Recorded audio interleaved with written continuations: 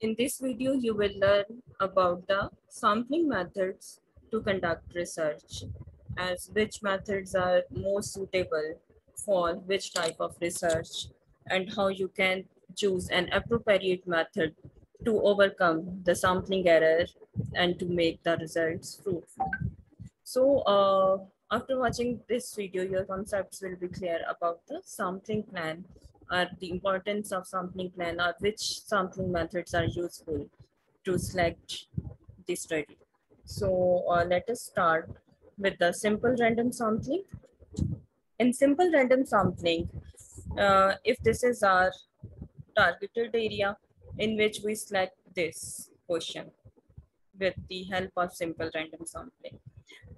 Simple random sampling is useful whenever we have the uh, queries like we want to select some players and uh, we uh, have put on their names on, in the cap and randomly selected a few from these.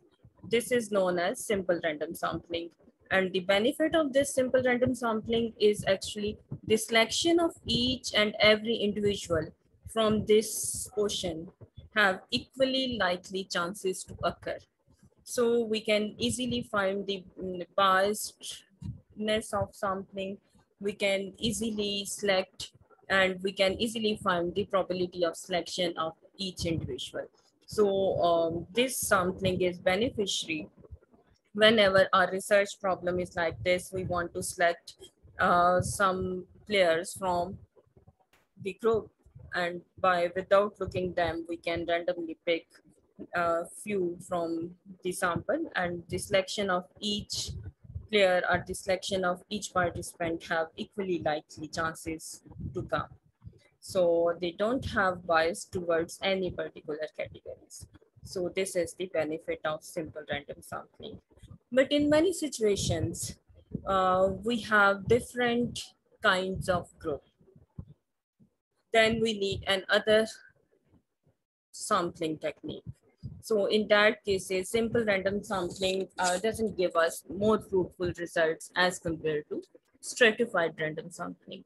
So whenever you have different kind of groups, the best sampling technique or the best sampling plan which you choose for your study is the stratified random sampling in which you can make the random strata of each uh, kind of group separately and then conduct your research. Like the benefit of the simple random sampling is that this method is good when we want some members from every group. And the example, we can take a student council survey, 100 students, consisting of 25 high school students, 25 undergrad, 25 postgraduate, and 25 part-time students. Even though we, we have the 100 students group, but in this, we want to uh, select the high school, undergrad, postgraduates, and part-time students. So their categories are different.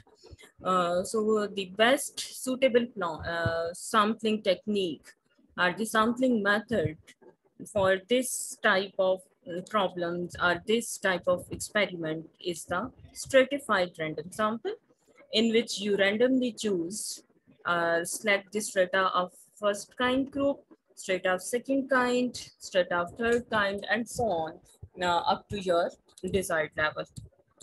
So uh, if we see this example here, we can select the four stratas, one for the high school, one for the undergrad, one for the postgraduate, and one for the part-time student. So uh, in this, you can say this method is good whenever we have some members from every group. So now you can say you have some members from each group. Like this is if our old age, this is our female uh, and this is our teenagers. So you have the selection of uh, each group members from each group. So this is the benefit of stratified random sampling. So we prefer the stratified random sampling whenever we want to select the members from each group in each strata. So the other problem in research when we want to do something is like this, in which uh, we choose the cluster random sampling. Actually, the purpose of cluster random sampling is that when each group reflect the population as whole, here you can see each group reflect the population as whole. In that cases, cluster random sampling is most preferable and suitable technique. Like an airline company wants to survey its customers.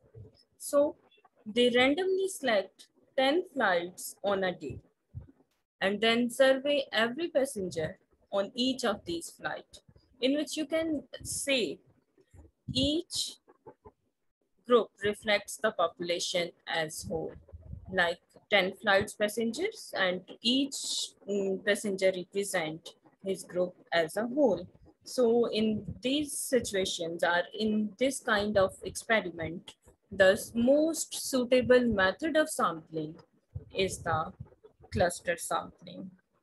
So we use the cluster sampling when each group, each member represents as a whole. We choose the stratified random sample when we select the uh, sample from each group and we choose the simple random sample in which we can say uh, each and every individual have the equal chances of occurrence or the probability of each and every uh, individual occurs equally likely. So here, uh, important to notice that if you choose the incorrect sampling method, which uh, will lead to skewed results or the biased results, uh, you cannot get the normal uh, distribution or the normal curve shape or the unbiased results in that case. So the uh, to get the normal uh, curve, to get the unbiased result, it must be suitable at the correct sampling method apply on the research study. Only then you can get fruitful results. Uh, your results get more uh, importance than the incorrect sampling method. So uh, uh, in this way, you can easily choose an appropriate sampling technique to conclude your study. So uh, we have these three important sampling methods, which are mostly used in our research studies, in our surveys, in our questionnaires.